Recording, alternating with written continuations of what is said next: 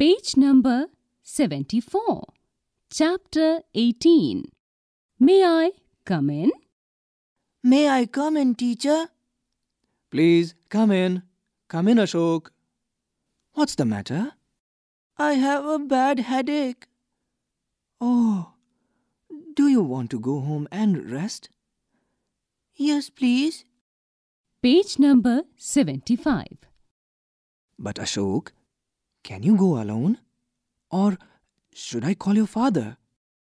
My house is nearby. I can go alone, sir.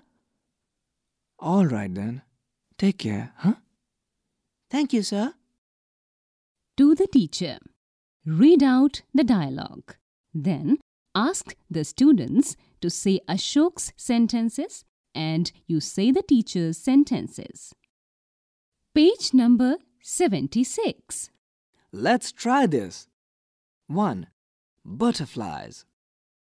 Butterflies, butterflies, up, up, up. Butterflies, butterflies, down, down, down. Butterflies, butterflies, in, in, in. Butterflies, butterflies, out, out, out. Out, out, out. Page 77. 2. Write the color of the object in the space given. Here is a picture of a ball.